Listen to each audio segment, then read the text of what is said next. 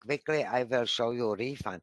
A refund is not um, uh, completed yet because just now you can uh, do the refund, but only the ticket which was not exchange or ratio.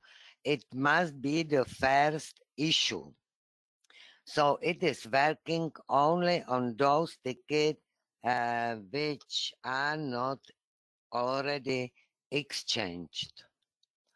So I would like to show you this ticket.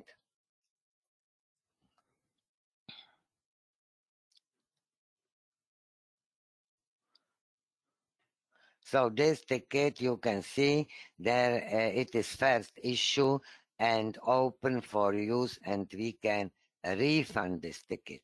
So again I will go to TCP home and in this case I will uh, enter ticket number. So not not uh, PNR but ticket number. Of course when the PNR is still uh, is still active, so you can enter also PNR, and then uh, you, uh, the ticket will be displayed and go uh, to via ticket. But uh, for me, it is better to enter immediately ticket number. So now ticket number is here. You can see but uh, segment is still active but without segments. So I will start again with the ticket and the only possibility is the refund here. So I will click on refund. Refund is very similar to GRM.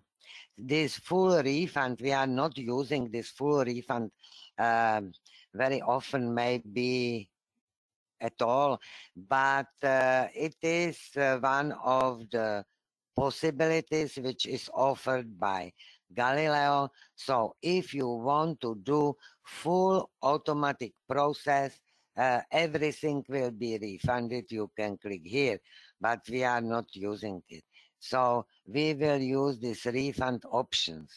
Uh, percentage is zero, but can be changed to some other percentage you can see that the fare was 6,710 and it is unused ticket.